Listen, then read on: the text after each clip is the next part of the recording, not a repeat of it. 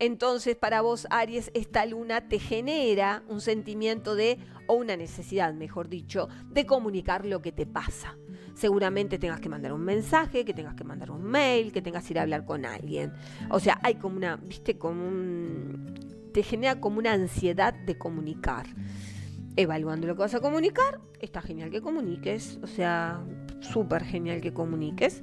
Y tu carta es, mira, ¿Cuál era tu ansiedad de comunicación?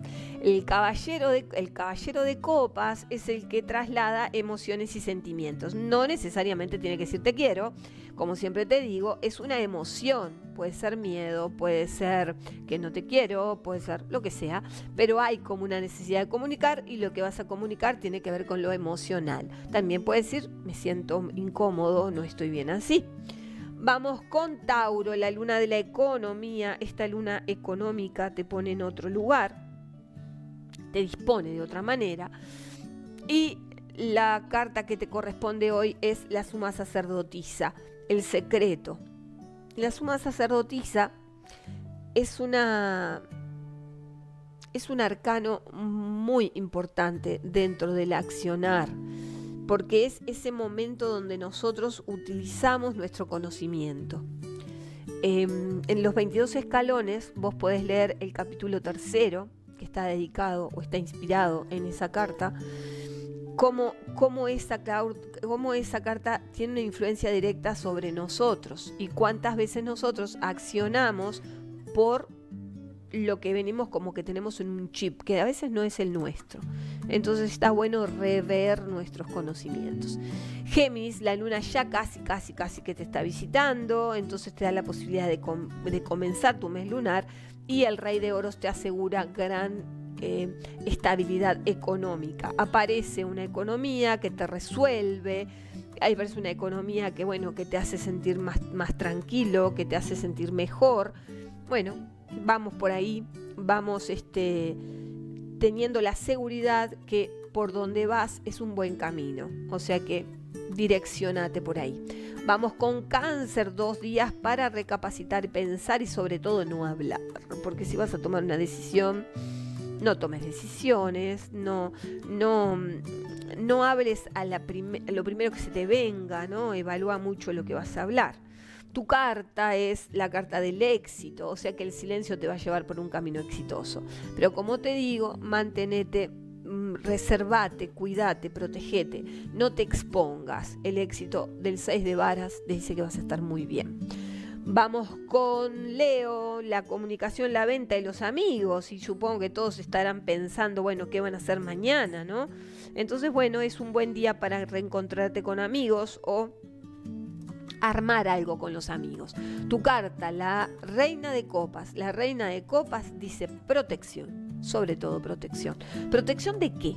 Protección de las cosas que tengo para mí, protección de lo que tengo que hacer, proteger, cuidar, eh, maternar proyectos, personas, situaciones, pero tengo que cuidar. Es una energía es muy, muy de introspección, de cuidar también el pasado y de cuidar también mis secretos. Tengo que proteger todo lo que, lo que tengo para mí y lo que es mío.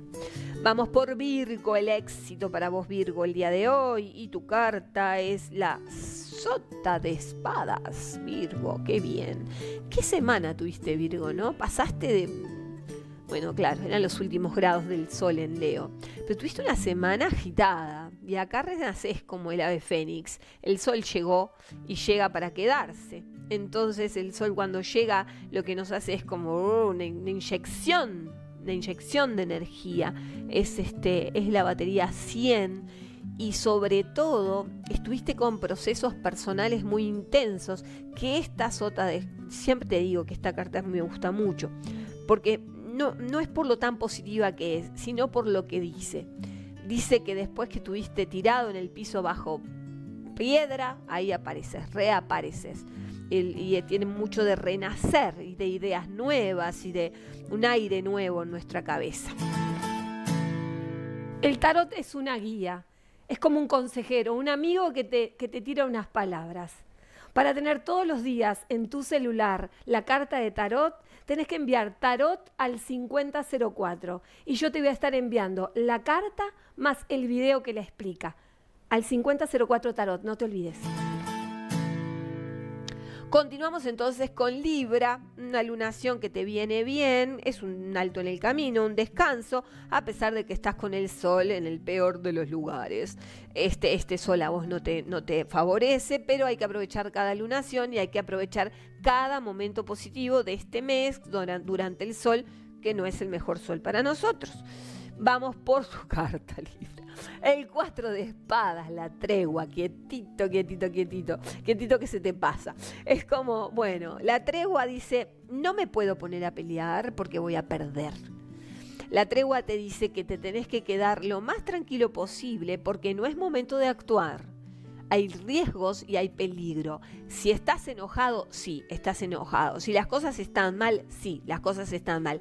Pero no es momento. El cuatro de espadas dice, espera muy atento, pero quieto. La, sí, la parabólica encendida, pero quieto. Vamos por Escorpio, mm, transformación gran transformación. Y tu carta es la carta del carro.